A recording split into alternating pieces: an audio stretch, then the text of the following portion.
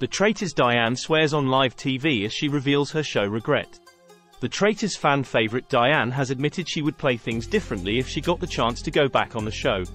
Speaking about what she would do differently if she got the chance to go back, she said, I wouldn't tell Miles I could never be a traitor, because I would like to be recruited.